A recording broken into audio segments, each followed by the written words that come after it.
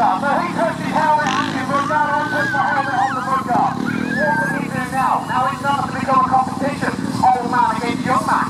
Let's see who's more flexible and who can do more stuff. What can he do? Oh dear, now that was very badly executed. That was one leg off the back of the boy. Now all you know what can do is better. Now what Johnny doing there, he's not handling the boys enough. So, Nico,